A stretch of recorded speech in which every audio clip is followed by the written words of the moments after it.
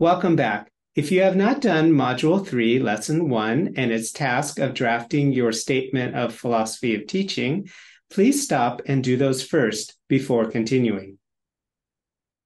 Writing an effective philosophy of teaching statement, POT, or POT as we like to call it, involves deep reflection on your beliefs and practices as a teacher, as well as a lot of work to draft and polish a statement that is both complete and concise. Before you send it to your employer or upload it onto your e-portfolio, we suggest checking it against the following set of common pitfalls, which we like to refer to as potholes. Our first pothole is it's too long or too short. Employers are likely to get several applications and will have a limited amount of time for reviewing each application. If they see a philosophy statement that is too long, they might just quickly skim the introduction and conclusion or decide not to read it at all. At the same time, a statement that is too short is likely to fail to clearly show the employer what you believe and how you implement those beliefs in the classroom. A too short statement can sound like mere lip service without any depth. Unfortunately, most job announcements do not mention minimum or maximum lengths for philosophy statements. So, how long should a philosophy statement be? We recommend somewhere around 500 to 1,000 words. If you're having trouble with the length, we recommend getting feedback and support from a colleague. If your POT is too short, they might be able to ask a few questions that can help you to expand your ideas or provide clearer examples. If your POT is too long, they can help you to figure out which parts could be trimmed or perhaps even cut altogether. The second pothole is the organization pattern is not clear. There's no specific template for how a philosophy statement should be organized, which is wonderful because it gives you freedom to write it in a way that reflects your own style and your strengths. However, if the employer cannot quickly and easily identify your key beliefs or values, you run the risk of having them give up and stop reading. And they may wonder if your lesson plans are also organized in a way that students won't be able to understand the course material. One common organizational problem that we see in POT statements is long, meandering paragraphs. In general, the longer a paragraph is, the more difficult it will be for a reader to follow the author's ideas. This is typically exacerbated when people are reading on a computer, tablet, or smartphone. You may want to consider breaking a really long paragraph into shorter paragraphs. Additionally, some teachers like to use subheadings to identify each main belief, and we've heard from employers that subheaders make it much easier for them to navigate an applicant's POT statement. We suggest showing your philosophy statement to a few different people and asking them to list your key beliefs and how you implement them. If they cannot easily do that, you may need to improve the organization of your statement. The third pothole is it's about teaching in general. Another common pothole is to write about teaching in general rather than teaching in your specific field. For example, many philosophy statements we have seen mention the importance of student motivation or creating good rapport. While these are indeed valuable aspects of your teaching, they apply to teaching anything, but they do not give an employer a clear sense that you really know how to teach a second language or how to teach literature or creative writing or whatever your area of expertise may be.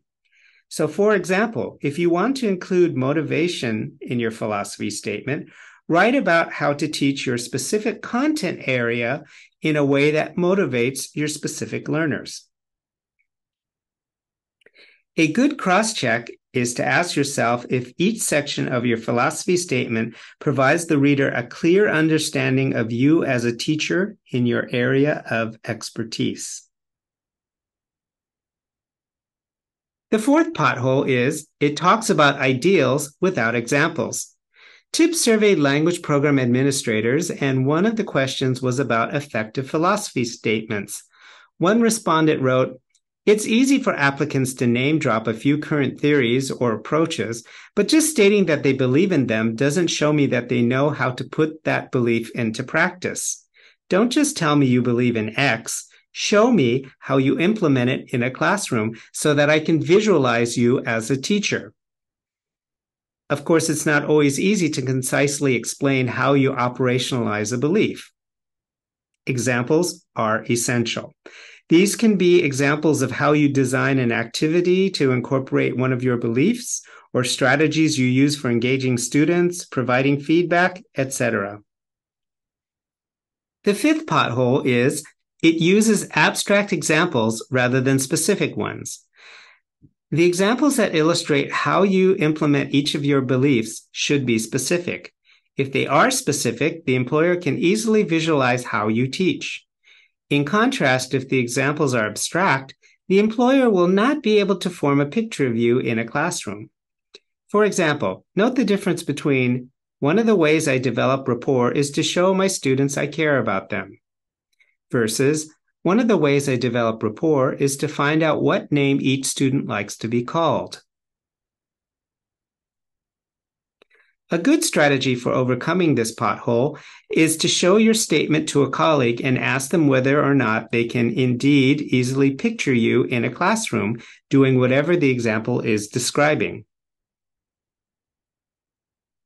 The sixth pothole is it has too many references or no references at all.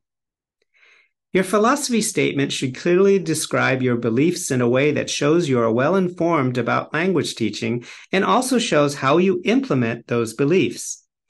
We recommend taking a scholarly approach to writing a solid philosophy statement, but keep in mind that if you have too many references, it looks more like a literature review than a personal statement and is also likely to be way too long.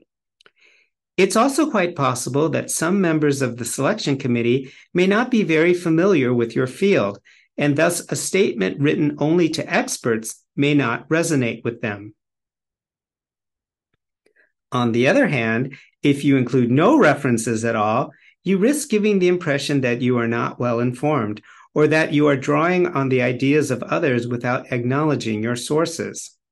A good rule of thumb is that if your beliefs have been strongly influenced by someone's work in the field, it's probably a good idea to cite them in your statement and include them in a list of references at the end of your statement. A few well chosen references go a long way to help establish your credibility.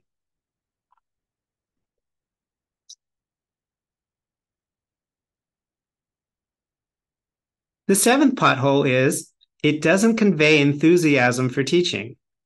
In an effort to sound highly professional, some teachers make a point of writing their POT statements in an objective scholarly voice. However, this can backfire as you may appear to an employer as detached from your actual teaching. Think about what it is about teaching that you are truly passionate about and what happens in a classroom that energizes you and gives you satisfaction as a teacher. Then make sure that passion and energy shines through in your POT statement.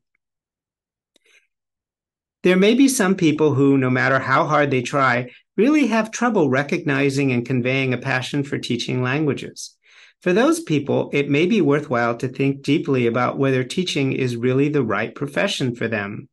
They may find that they would be better suited to or, and much more comfortable working in another field that also deals with languages. The last pothole is it's not proofread carefully. As with all other items in your portfolio, proofreading is important. It's often said that it's not what you say, but what you do that makes the strongest impression on employers. And no matter how great a teacher you may be, a philosophy statement with proofreading errors will probably give the selection committee pause and may affect whether they interview you or not.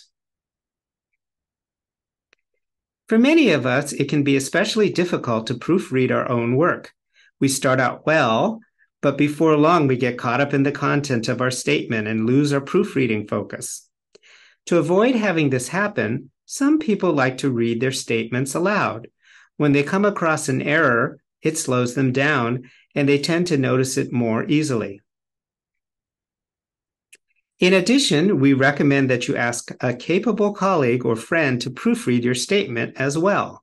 Choose your proofreaders carefully, though, and review their corrections carefully to make sure they are correct and they do not change your intended meaning. In conclusion, as you develop your philosophy statement, please use this information to prevent yourself from falling into any of these potholes. Next up, test what you've learned in the Think section. Check out the Dig Deeper resources for even more strategies and tips.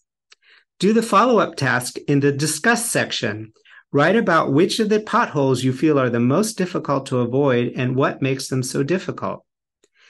Then read what others have written and respond with any suggestions you may have.